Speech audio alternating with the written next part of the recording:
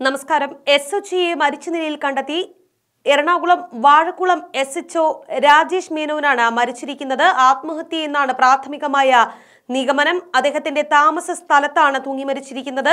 ക്വാർട്ടേഴ്സിൽ തൂങ്ങി മരിച്ച നിലയിൽ മൃതദേഹം കണ്ടെത്തുകയായിരുന്നു എന്നാണ് വ്യക്തമാകുന്നത്. എറണാകുളത്തെ വാഴക്കുളം റൂറൽ പോലീസിന് കീഴിലാണ്.